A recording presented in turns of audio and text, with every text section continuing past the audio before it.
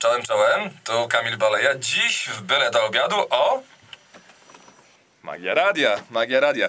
Dziś w Byle do obiadu będzie o bardzo trudnym, szerokim temacie, czyli o zakupach. Wyczytałem, tutaj są badania, nie widać ich. E, wyczytałem, że męskie zakupy trwają średnio 26 minut, a kobiece, no pewnie panowie powiedzą, że za długo, panie, że za krótko. Ale po co nam 40 bluzka?